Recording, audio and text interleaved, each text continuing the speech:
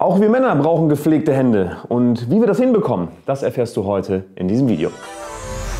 Also Leute, es geht nicht immer nur um den Bart oder um die Haare, sondern wir brauchen natürlich auch gepflegte Hände. Und vorneweg kann ich schon mal sagen, wenn ihr diese Nagelroutine macht, dann solltet ihr das auf jeden Fall immer direkt nach der Dusche machen, denn dann sind eure Hände noch relativ weich, eure Haut ist weich und dann könnt ihr einfach die ganze Nagelroutine wesentlich einfacher und wesentlich entspannter durchführen. Erstens, Nagelfeile und Nagelknipser. Ich weiß, einige Männer denken jetzt, wieso Nagelfeile? Ja, wir brauchen auch eine Nagelfeile, um vernünftig gepflegte Hände zu haben. Bedeutet, erstmal werden die Fingernägel abgeknipst und im Anschluss benutzen wir dann die Pfeile und feilen unsere Fingernägel vernünftig. Und das hat nichts damit zu tun, dass es irgendwie feminin ist oder so, sondern das ist einfach das A und O, was jeder Mann machen sollte, wenn er gepflegte Hände haben möchte. Und gerade die Nagelfeile ist unfassbar wichtig, um einfach die Fingernägel schön in Form zu feilen, damit das Ganze auch vernünftig aussieht. Tipp Nummer zwei: eine Nagelhautzange verwenden. Ja Leute, es gibt eine Nagelhautzange. Ich weiß und bin mir ziemlich sicher, dass viele von euch da draußen eine Nagelhautzange gar nicht kennen. Gar kein Problem, ich kannte sie lange Zeit auch nicht, aber eine Nagelhautzange ist wirklich wichtig, um eure Nagelhaut perfekt entfernen zu können. Die Nagelhautzange ist einfach die effektivste Möglichkeit, um die Nagelhaut zu entfernen. Und viele fragen sich jetzt vielleicht, hey, ist das überhaupt notwendig? Brauche ich so eine Nagelhautzange? Ja, definitiv, denn du kannst noch so schön geknipste und noch so schön gefeilte Fingernägel haben. Wenn du halt einen Meter Nagelhaut auf deinen Nägel drauf hast, jetzt mal überspitzt gesagt, dann sieht das ganz einfach trotzdem ungepflegt aus. Deshalb ist es ja Pflicht, die Nagelhaut zu entfernen. Außerdem Außerdem ist es auch so, dass so die Nägel besser wachsen können. Dritter Tipp, nutz ein Nagelhautgel. Mittlerweile wissen wir ja, dass die Nagelhaut auf jeden Fall entfernt werden sollte und um das perfekt hinzubekommen, könnt ihr ein Nagelhautgel verwenden. Auch die Kombination zwischen Nagelhautgel und Nagelhautzange funktioniert wirklich gut. Erstmal, wie funktioniert grundsätzlich Nagelhautgel? Das funktioniert wie folgt. Du nimmst einfach ähnlich wie bei einem Nagellack einfach ein bisschen von dem Gel und streichst es über deinen Nagel und über deine Nagelhaut drüber. Dann wartest du ungefähr 15 Sekunden und dann kannst du die Nagelhaut einfach einfach ganz entspannt ein bisschen zurückschieben. Und wenn du dann deine Nagelhaut zurückgeschoben hast, das geht dann wirklich relativ einfach, dann kannst du den Nagelhautknipser nehmen und dann kannst du ganz schön und fein die Nagelhaut abknipsen. Und by the way, das ist eigentlich auch ein gutes Produkt für Anfänger, die sich einfach noch nicht trauen, die Nagelhaut zum Beispiel wegzuschneiden mit so einem Nagelhautknipser. Die können dann einfach dieses Nagelhautgel nehmen, schön einwirken lassen, Nagelhaut zurückschieben und fertig. Das funktioniert ebenfalls sehr gut.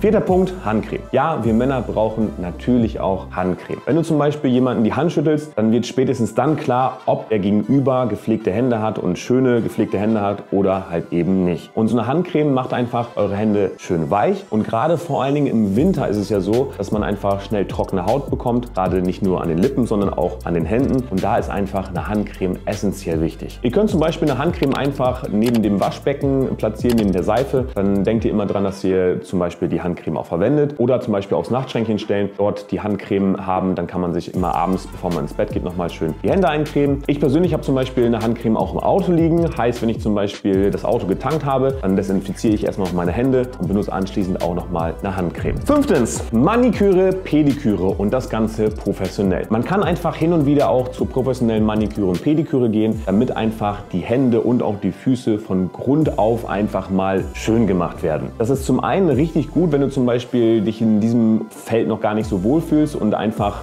ja, ein bisschen Know-how brauchst, kannst du einfach ähm, mal zu Maniküre und Pediküre gehen. Da siehst du einfach mal, wie das Ganze professionell gemacht wird und davon kannst du natürlich auch unfassbar viel lernen. Außerdem kostet das Ganze nicht viel, man kann es fast überall machen, das dauert nicht lange und es ist auch noch angenehm. Also das solltet ihr auf jeden Fall ausprobieren, wenn ihr einfach mal ein richtig ordentliches und schönes Ergebnis an den Händen und den Füßen haben wollt. Und gerade an die Sportler da draußen, die zum Beispiel viel Fußball spielen oder viel laufen gehen, für die ist es natürlich auch super wichtig, einfach mal die Füße in Ordnung zu bekommen und anstatt zur kosmetischen Fußpflege oder zur Nagelpflege zu gehen, kann man natürlich auch die medizinische Fußpflege wählen. Und das ist einfach wirklich richtig, richtig, richtig nice, wenn man da rausstampft. Ja? Dann stampft man nämlich nicht mehr, sondern dann fühlt sich das so an, als wenn man aus seinen Füßen fliegt. Also mein Freund, wenn wir uns irgendwann mal auf der Straße begegnen und wir einen Handshake machen, dann möchte ich, dass du schöne, gepflegte Hände hast. Und wenn nicht, gibt es einen auf den Deckel. Also Leute, ich hoffe, ich konnte euch mit diesem Video heute ein bisschen weiterhelfen. Denkt dran, dass ihr auch eure Füße vernünftig pflegt, nicht nur eure Hände. Und ich wünsche euch jetzt einen wundervollen Tag mit richtig schön gepflegten Händen und Füßen.